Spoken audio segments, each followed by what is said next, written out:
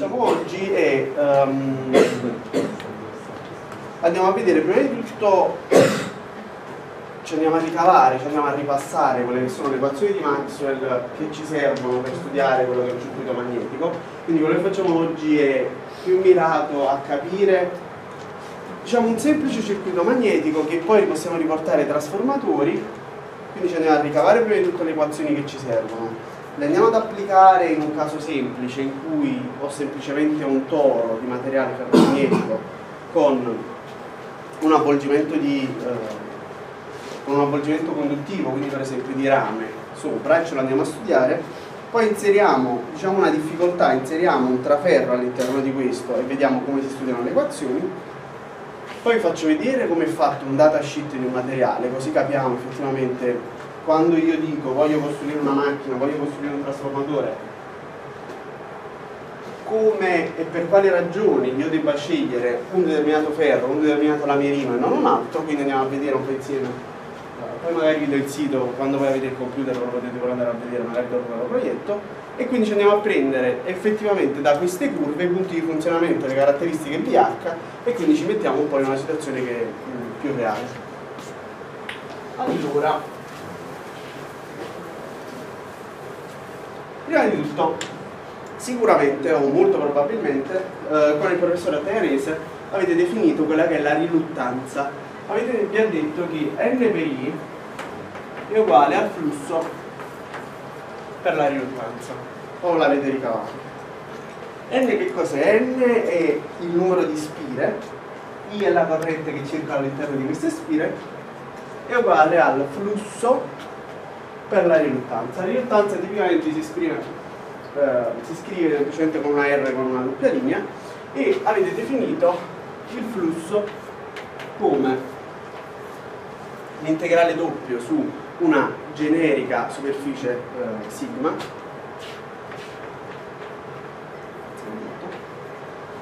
di, di scala n scala s. Quindi Dato un determinato avvolgimento fatto di n spire, n per i è uguale al flusso che genero, che posso insomma ricavare come l'integrale doppio di b scalare n scalare ds, moltiplicato per questo termine che è la riluttanza. Allora, capiamo di che cosa sto parlando. Se io prendo un toro, un toro, nient'altro è che una ciambella,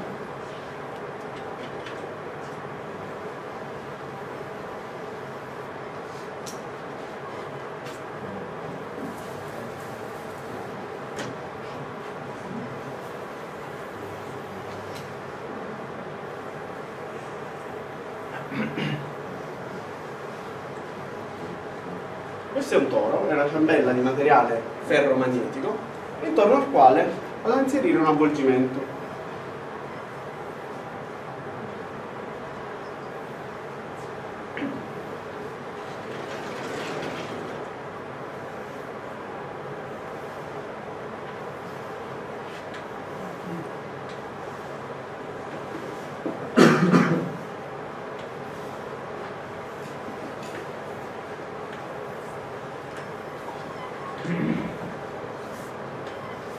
Ok? Immaginiamo di avere questo toro ferromagnetico con un'anima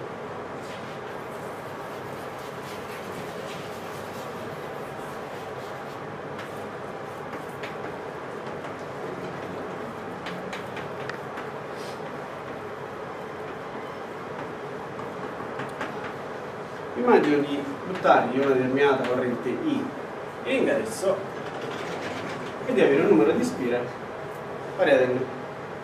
Ok?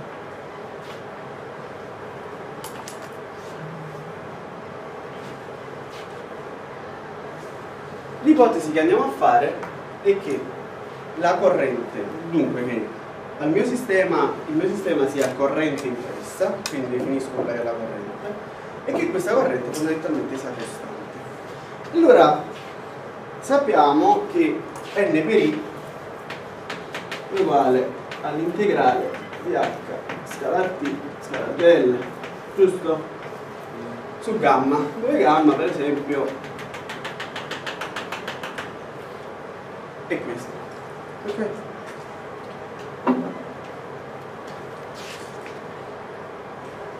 Facciamo una cosa. Allora, in generale, un materiale ferromagnetico è la curva di H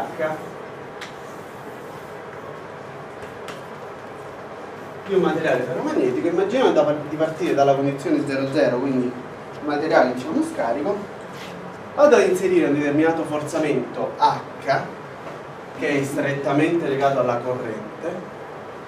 E che cosa succede? Che qui ho una risposta in termini di B, quindi io vado a inserire una corrente all'interno di questo conduttore. Quindi sto generando H. Come risposta del mio sistema ottengo un'induzione. B. Ok? come sapete come penso che sappiate um, il legame BH di un materiale ferromagnetico non è lineare allora se io parto da 0,0 e inizio a magnetizzare il materiale percorro questa curva che è una curva di prima magnetizzazione. Quindi parto da 0 a 0, fornisco una corrente al mio circuito, quindi sto fornendo questo H che per me è il forzamento e ottengo una determinata B. La percorro in questa direzione. Che cosa noto? Che nel momento in cui io vado a diminuire questa corrente, mi riporto questa corrente a 0, ritorno in 0 a 0, punto interrogativo, ovviamente non torno in 0, non vado qui. Poi scendo giù ah.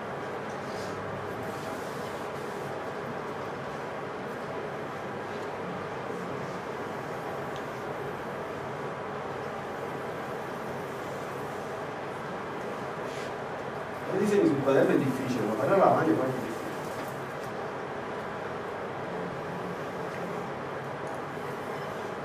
va bene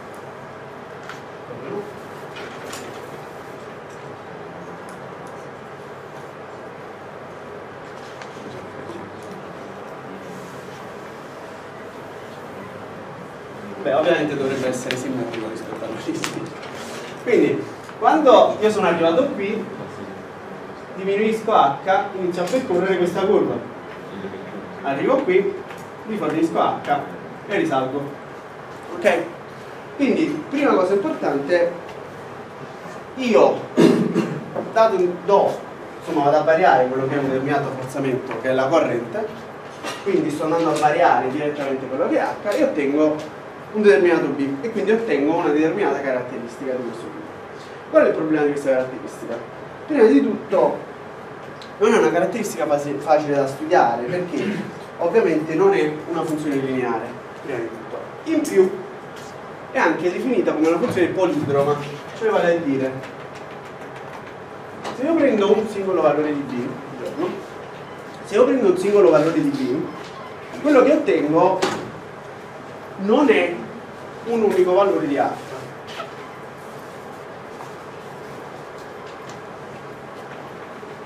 Posso stare qui o posso stare qui.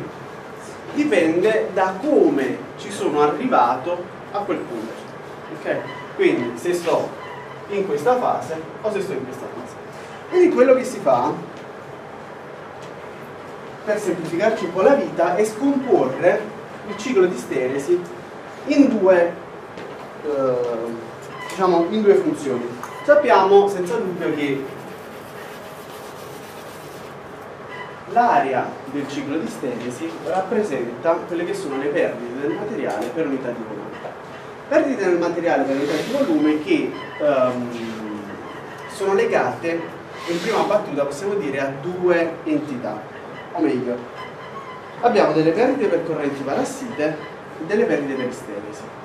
Le perdite per correnti parassite sono delle perdite che si generano legate al fatto che il materiale ferromagnetico sottoposto a un determinato campo variabile del tempo genererà all'interno dello stesso materiale delle piccole correnti parassite in modo tale da opporsi alla cosa di e poi abbiamo le perdite legate all'isteresi perché io devo percorrere questo ciclo ovviamente tante più volte lo percorro tante più saranno le. Questo è governato dalla forse l'avete vista, sicuramente, dalla legge di Stevens, che ci dice che le perdite per unità di volume, normalmente sono anche definite P, saranno uguali una quantità di perdite per isteresi più una per correnti parassiti. Questa che cosa è uguale? Questo è dato da A per F alla B max, per B max, scusatemi, all'alfa, più B per F al quadrato per B max al quadrato. Quindi ho A dove alfa è compreso tra 1 e 6 e 2. Quindi questo sicuro l'avete visti, però eh, ora vi faccio capire perché ci serve. Eh, quindi le perdite ovviamente date a due contributi, uno per isteresi e uno per correnti parassite, definiti in questo modo. Un termine è legato alla frequenza, un termine è legato alla frequenza al quadrato. Quindi in generale, prima di tutto, tante più volte per, percorro questo ciclo, quindi legato alla frequenza, tanto maggiori saranno le perdite che ho, e poi dipende senza dubbio anche dal campo di induzione che ho, no? Maggiore è il B massimo a cui insomma, è sottoposto il materiale ferromagnetico, maggiore saranno ovviamente le perdite. Ci siamo, ci proviamo. Allora, quello che vi dico è, partiamo da questo e scomponiamocelo in due circuiti, o meglio, in due eh, caratteristiche più semplici, nel senso che prendo questo, vado a valutare qual è l'area del ciclo di steresi.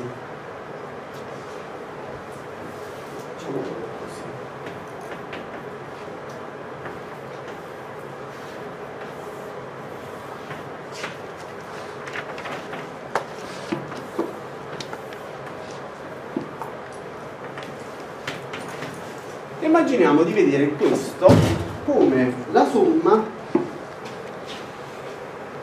meglio di in due grafici. In uno prendo l'area solo di questo. Se lo vado a rappresentare nel piano BH, se rappresento solo l'area, farà una specie di lisse. Ok? Quindi questo mi rappresenta l'area del ciclo di steresi. Poi che cosa faccio? Prendo questo punto, questo punto, punto medio, questo punto, questo punto, punto medio, se la caratteristica fosse fatta bene, questa è molto vicina a quella che è la linea di prima magnetizzazione, la caratteristica di prima magnetizzazione, però magari se potete fatevela meglio. Ok, quindi se io prendo questa, da un lato sono a rappresentare semplicemente quella che è l'area del ciclo, dall'altro lato invece ehm, vado a rappresentare questa che è la linea o meglio definita anche caratteristica di media magnetizzazione, o meglio ancora caratteristica media del ciclo, ottengo una linea. Ok? Quindi quello che ho fatto è, per semplificarmi la vita, e ora capiamo il perché mi sto semplificando la vita, parto da questo ciclo di steresi, in uno mi porto in conto solo quella che è l'aria del ciclo, nell'altro vado a rappresentare quella che è la, mm, la curva di media magnetizzazione. A rigore questa si definisce linea media del ciclo.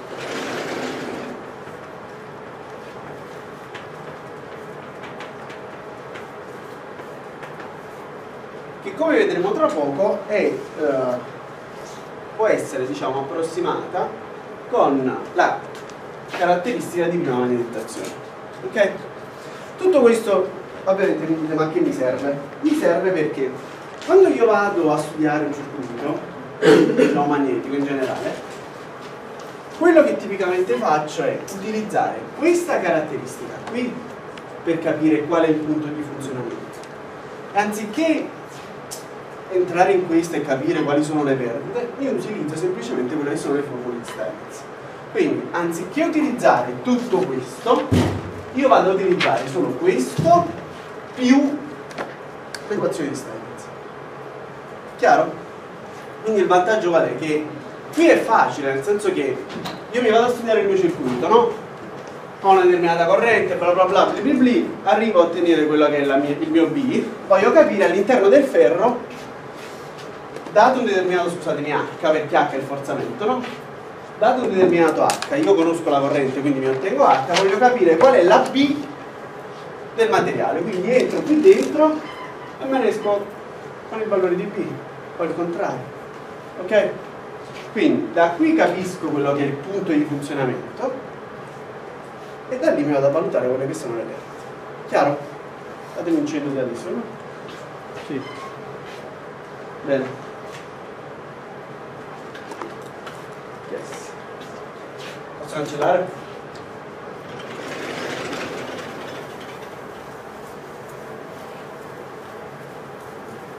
Ma dato che stiamo parlando ovviamente di ferro, ehm, sappiamo che il legame pH è un legame che non è lineare, o meglio che abbiamo un determinato B che è funzione di H, oppure posso vedere B come mu0 per H più la magnetizzazione, oppure ancora posso vedere B come mu per h oppure ancora come mu con 0 per mu con r per h no? Sì. Uh, tu, tu, tu, facciamo una cosa mm, se io prendo questa se prendo la seconda equazione b uguale a mu con 0 per h più la prima magnetizzazione questa che cosa è uguale? se metti in evidenza mu con 0 questo sarà uguale ad h più m diviso mu con 0 che è uguale, se metto in evidenza anche h, a mu con 0 che è uguale a mu con 0 h per 1 più m diviso mu con 0 per h. Questo termine qui che cos'è? È proprio questo. Giusto? Questo è uguale a mu con 0 per mu con r per h quindi questo mu con r è proprio questo. Allora se ci siamo iniziamo a vedere il circuito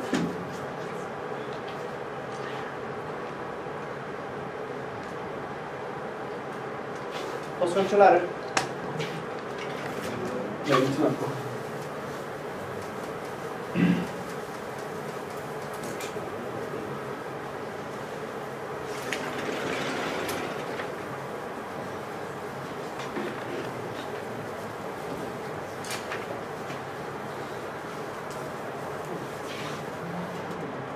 qua mancava qualche pezzo? Allora aspetta. Uh, mu con 0h più m, qua metto in evidenza mu con 0, quindi mu con 0h più più più più m diviso mu con 0. Se metto in evidenza anche h è 1 più m okay. Quindi questo è uguale proprio a mu con 0 per mu con r per h. Dove questo è mu con r? Ok?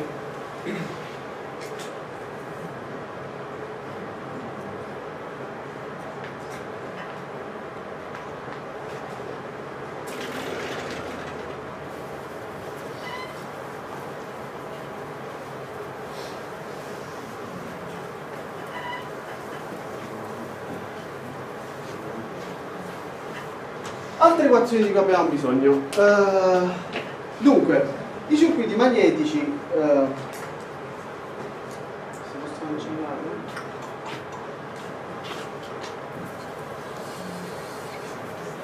allora sappiamo dalle equazioni di Maxwell um, che uh, prima di tutto il rotore di H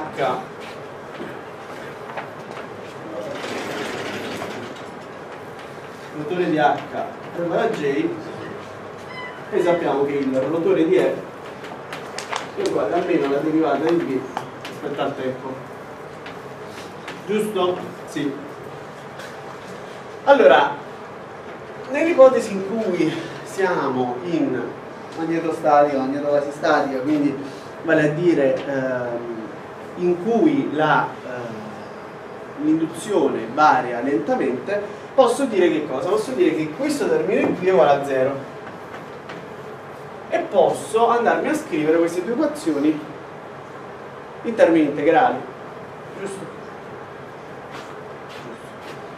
dalla prima che cosa ottengo? ottengo quello che abbiamo scritto prima non lo so perché l'ho cancellata perché h scalar t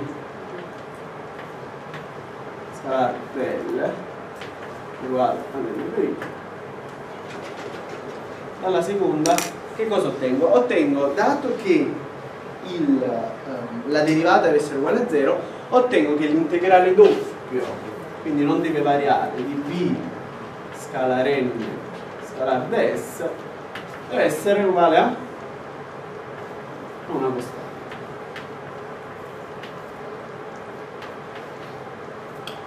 Quindi abbiamo bisogno di 1, 2 e tutto quello che ci siamo detti, nel senso il legame che c'è tra B ed H. Quindi uguale a me per H. Allora, molto spesso abbiamo bisogno anche di B0 uguale a mu con 0 per A. Se ho un trafero, se ho dell'area all'interno del circuito. Quindi quello che vado a fare in generale è ehm, le macchine elettriche le studiamo con l'utilizzo fondamentalmente di queste due equazioni. Okay? Allora, andiamo ad utilizzare queste equazioni per questo circuito. Allora, se vado ad applicare la prima, h scalar t del uguale ad n per i. Quindi io prendo questa linea e mi vado a fare l'integrale ok? ho che in tutti i punti h ah, facciamo prima di tutto l'ipotesi però perché sennò questo che dico non è vero facciamo l'ipotesi che la sezione di questo toro sia sufficientemente piccola cioè che cosa voglio dire? che se io confronto il raggio interno con il raggio esterno questa quantità è maggiore rispetto a questa. Questo mi serve per dire che questo è un tubo di flusso e che il flusso sia costante in tutti i punti. Chiaro?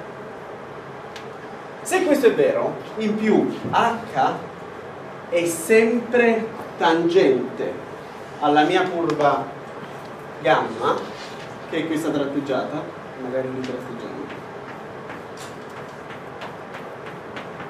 Quindi h scalar t del, se questa curva gamma ha una lunghezza che chiamo lunghezza media, questo integrale banalmente diventa h, h di che cosa? Del ferro, o in generale di questa anima ferromagnetica, per la lunghezza media è uguale ad n per i, giusto?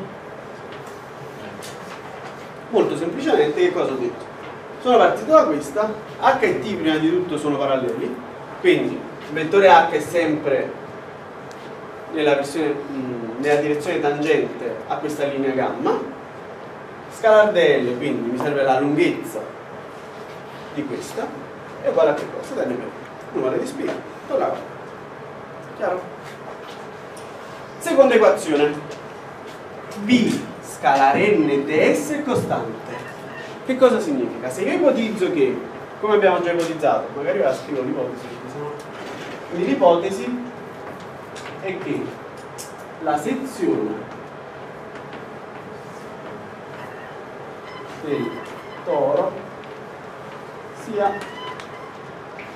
minore, molto minore. Rispetto. Al raggio Quindi, per questa ipotesi qui abbiamo detto se questo è veramente piccolo posso ipotizzare che il flusso sia costante in tutti i punti. Quindi dire che il flusso è costante in tutti i punti l'ho cancellata. L'integrale doppio abbiamo visto prima di b scalare n scalare ds è uguale al flusso, significa dire che anche b deve essere costante. Quindi questo significa dire che b moltiplicato che cosa? n scalar ds, quindi ho bisogno di una superficie, quindi b per la sezione del ferro è una costante. Ok?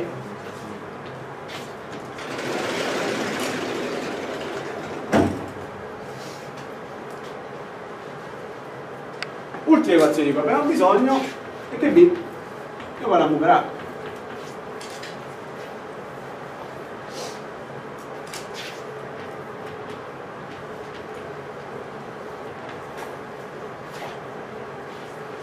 Bene.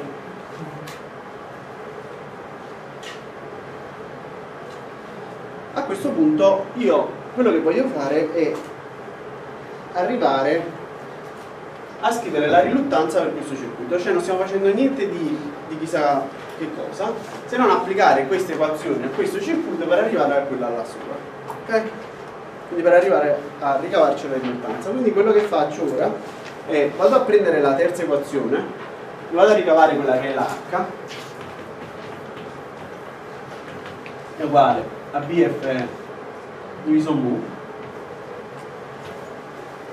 prendo, butto qua dentro e ottengo che BFN tratto mu per L con M è uguale ad N per I lì sopra c'è il flusso quindi mi devo scrivere anziché andarmi a scrivere B mi devo scrivere il flusso ma sappiamo che B è uguale al flusso diviso la sezione quindi ottengo che il flusso diviso mu diciamo così, flusso per L con M diviso mu per la sezione allora n per i confrontando questa con questa. Ma L con M non fa parte dell'equazione ottengo che questa è l'oggetto di cui abbiamo parlato. Questa è la riluttanza. Ok?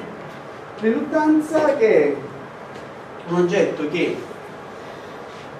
aumenta all'aumentare della lunghezza e diminuisce all'aumentare sia della sezione sia di nucleo. A questo punto andiamoci a complicare un po' il circuito, nel senso che abbiamo ipotizzato che ci sia tutto ferro, che sia omogeneo tutto, eccetera, eccetera. A questo punto cancelliamoci un pezzettino. Immaginiamoci che qui non ci sia più solo ferro, che ci sia aria.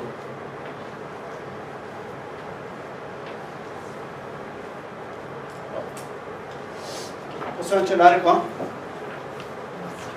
Ditemi sì o no, perché sennò non lo so.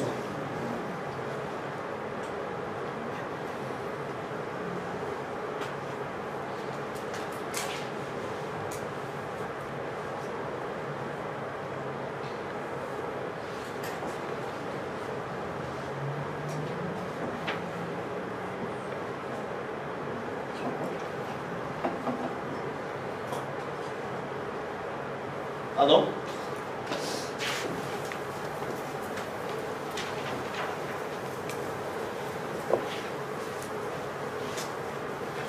Quindi io non lo faccio per comodità, ma rifatevi lo stesso toro, però con ultraferro. Quindi abbiamo visto, primo caso, toro semplice, pieno, e ci siamo studiati l'equazione. Siamo arrivati, l'equazione 9 ho flusso, riluttanza, corrente e numero di avvolgimenti.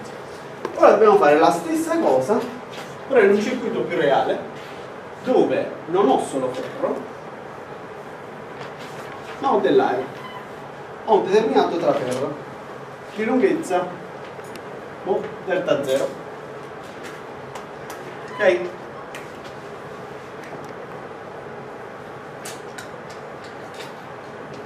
E ora ci servono tutte e quattro le equazioni. La prima e la seconda, va bene, lo sapevamo. La terza perché ho il ferro, la quarta perché ho l'aria. Ok? Questa qui mi serve qua mezzo per capire qui in mezzo che cosa succede. In più all'ipotesi che abbiamo fatto prima, che la sezione del toro sia sufficientemente più piccola rispetto al raggio, vado a dire che voglio anche che questo traferro sia sufficientemente piccolo perché se questo traferro è sufficientemente piccolo non mi va ad alterare quella che è la proprietà che il flusso e quindi B rimangano costanti in tutto il toro perché altrimenti sono uguali quindi quello che dico è che delta 0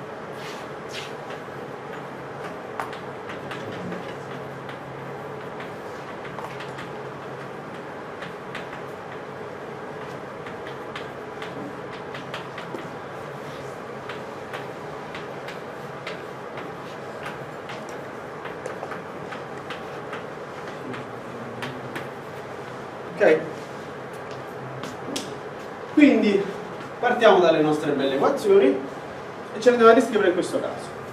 Allora, qui che cosa abbiamo detto? Abbiamo detto prima h scalar t del è uguale ad n per i. L'equazione di Maxwell, quella è quella rimane. Solo che in questo caso qui H, per, l'ipotesi che abbiamo fatto, per le ipotesi che abbiamo fatto, 1 e 2, H diciamo che rimane costante. ok?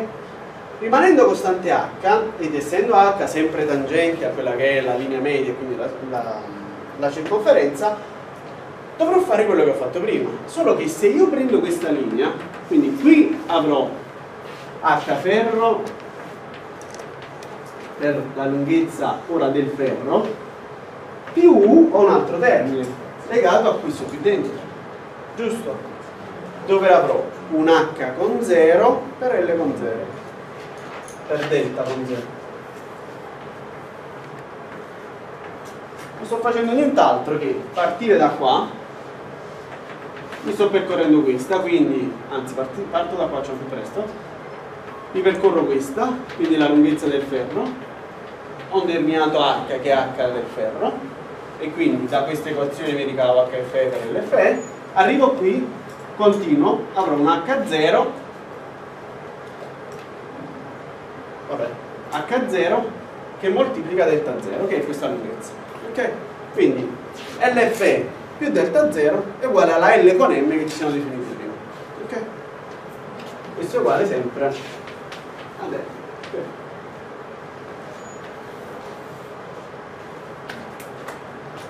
Seconda equazione. Seconda equazione, nella prima e nella seconda ipotesi che abbiamo fatto, quindi che la sezione del toro sia sufficientemente più piccola del raggio e che delta 0 sia sufficientemente piccolo da non alterarmi B, che cosa ho? Che B del ferro per S del ferro deve essere uguale a cosa? Prima abbiamo detto che era costante, qui ho due termini, ho che questo deve essere uguale a questo. Quindi che B del ferro per S del ferro deve essere uguale a B con 0 per S in 0 giusto? bene. Terza equazione B uguale a mu per H. B del ferro uguale a mu del ferro per H del ferro e B con 0 è uguale a mu con 0 per H con 0 la mia idea è sempre quella di ritornare ad un oggetto in cui io facilmente riesco a ricavare quelle che sono le mie riluttanze. Okay? Quindi più o meno quello che abbiamo fatto prima però in un sistema diciamo, leggermente più complicato. Allora prima di fare questo vi voglio farvi vedere una cosa carina. Se io prendo questa qua, la inserire qui dentro, nel senso che mi ricavo H con 0 da questa,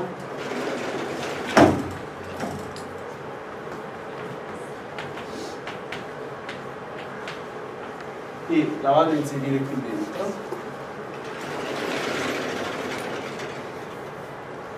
Ho HFE per LFE più B con 0 diviso con 0 0 delta 0 uguale a L.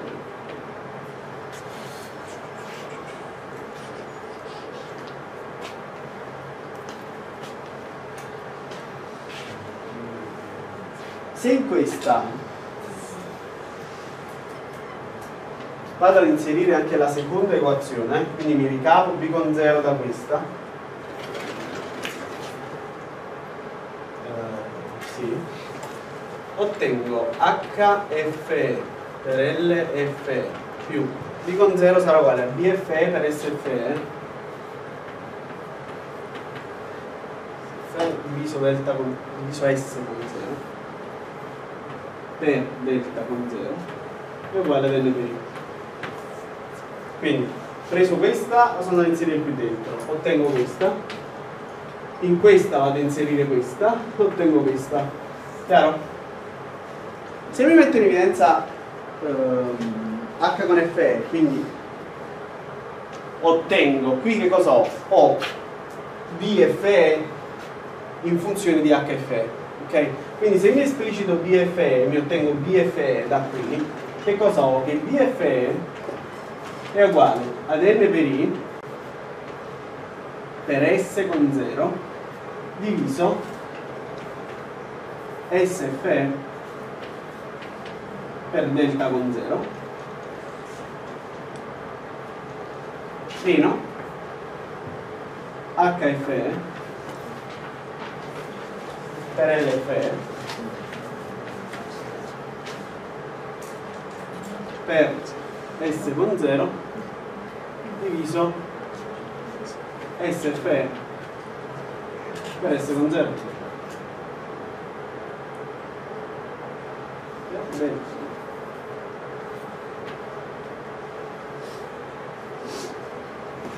Che cosa ho ottenuto? Ho ottenuto la mia BFE in funzione di HFE. Chiaro, non sono due passaggi matematici, non ho fatto nient'altro che partendo da questa sono andato a sostituire l'H con 0 lega, mh, ottenuta dal legame B con 0 H con 0 sono andato a sostituire qui dentro a questo punto ottenuto questo dico ma B con 0 quanto è uguale? B con 0 me lo sono ricavato da qua lo sono andato a sostituire ottengo una funzione BFE in funzione di HFE. Questa qui è carina perché questa qui la posso andare a rappresentare nel piano BH. Avete copiato? Dite voi? Uh, mu0 della equazione in alto a destra. La sono persa? Bene. Allora aspetta un attimo. Va qua sotto. Sì. Sì. U con 0 quindi va sopra. U con 0 u con 0 grazie.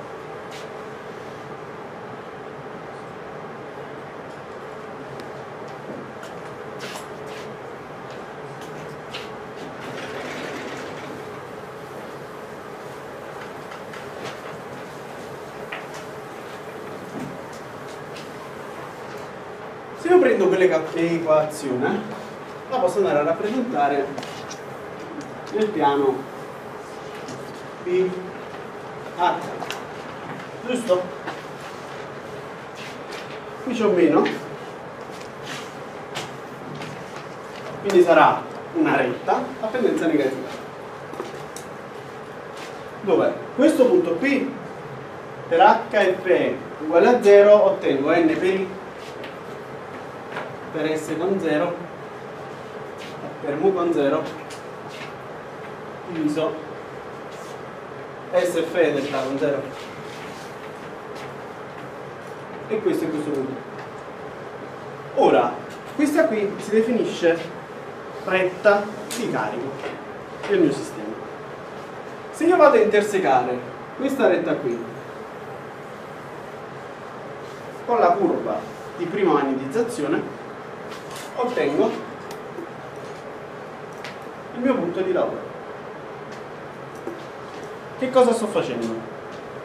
Ho studiato il mio sistema, indipendentemente dalla caratteristica BH nel ferro, perché io questa l'ho usata da qualche parte, non l'ho usata da nessuna parte. Quindi mi sono ottenuto il legame tra B del ferro e H del ferro legato al mio sistema, però questo punto di funzionamento sarà legato alla caratteristica del ferro questo è il legame BH del ferro con il legame del mio sistema. Quindi interseco quella che è la retta di carico con la caratteristica di prima magnetizzazione oppure curva media del ciclo. Abbiamo detto più o meno sono la stessa cosa. Ok? quindi quando vado a studiare un sistema di questo tipo siamo partiti da quello che era un toro semplice abbiamo inserito l'aria abbiamo visto che le equazioni si complicano di poco perché ho solo un pezzettino d'aria e ho solo due materiali in gioco. Ho questa equazione che mi dice che BFE per SFE quindi che B per S deve rimanere costante che quindi sia nel ferro che nell'aria questo prodotto deve rimanere costante utilizzo le caratteristiche del materiale prendo questa, la vado a buttare qua dentro ottengo questa mi ricavo quello che è il legame mi ricavo B con 0 da questa equazione e arrivo fondamentalmente a questa. Questa è l'equazione che mi rappresenta il mio sistema, che sono andato a graficare e ho ottenuto dall'intersezione di questa retta con la curva di media magnetizzazione oppure di prima magnetizzazione che dir si voglia, ho ottenuto il punto di funzionamento. Domanda. Se io aumento la corrente se io prendo il mio sistema, lascio tutto uguale, vado ad aumentare solo la mia corrente. Prima di tutto, tra le due, che cos'è che si muove? la caratteristica del ferro si muove o la caratteristica del mio sistema si muove? Ovviamente si muove la caratteristica del mio sistema, la corrente sta qua dentro. Ok? La caratteristica BH del ferro, quella è, quella rimane. Bene, se aumento la corrente, cambia la forma di questo oggetto. La corrente dove sta? Lo sono qua. Sta solo nei punti di intersezione. Quindi quello che succede è che se io aumento la corrente, questa retta non fa nient'altro che traslarsi su se stessa. Se aumento la corrente. Se la vado a diminuire, ovviamente mi sposto più. Bene, quindi abbiamo capito il punto di funzionamento, retta di carica, punto di funzionamento. A questo punto, partendo da questa, ritorniamo al sistema che abbiamo visto prima, cioè voglio ritornare ad un'equazione tipo quella, quindi n per i uguale a φ per la riluttanza, dove ovviamente la riluttanza che ora avrò non sarà una singola riluttanza perché ho due materiali all'interno, giusto? Bene, allora, non so se vi conviene scrivervele o no, vabbè, fondamentalmente, vabbè, faccio proprio da capo.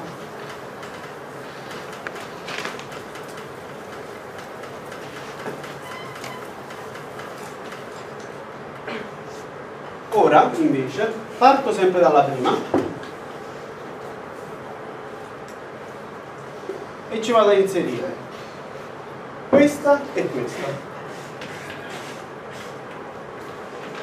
Cioè, parto da questa equazione e quello che faccio vado ad utilizzare in prima battuta semplicemente quelle che sono le caratteristiche del ferro, la caratteristica dell'aria, cioè il legame tra B e l'area. Prendo la prima, HFE HFE a che cosa è uguale? Uguale a BFE diviso mu, giusto? Quindi questa è BFE diviso mu per LFE più H con 0 è uguale a B con 0 diviso mu con 0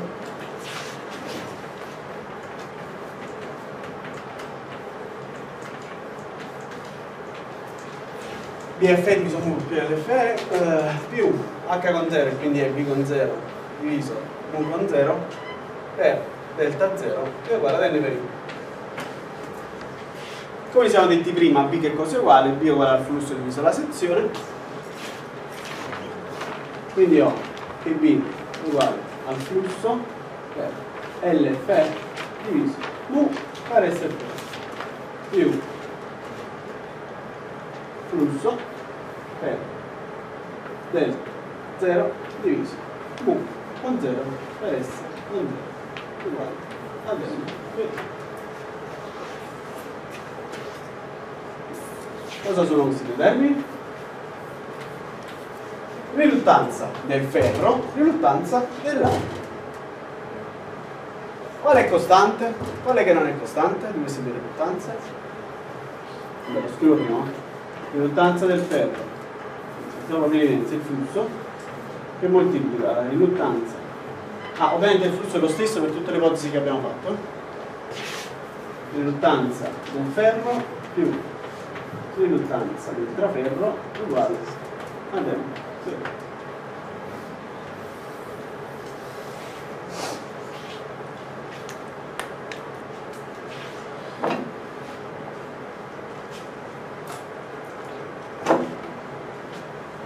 Dunque, come ho detto prima, tra questi due, quale riluttanza è costante? Quale riluttanza è variabile?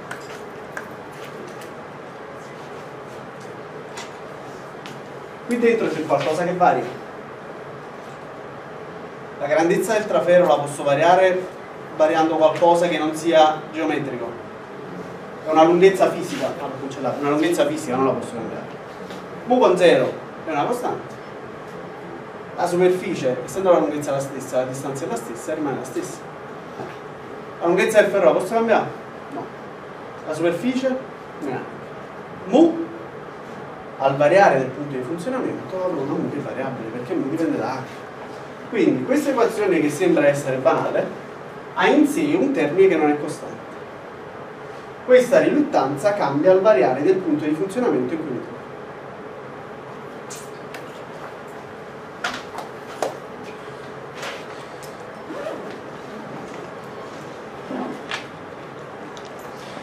Ora, se io abbiamo ipotizzato semplicemente di avere un toro spezzato in un determinato punto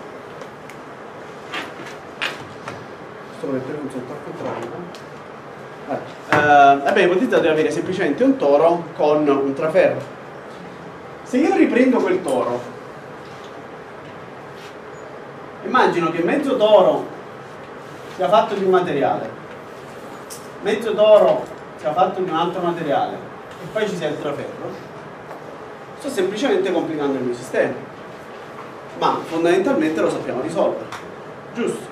Perché qui che cosa avrò? Non avrò solo due termini, ma avrò anche il terzo termine.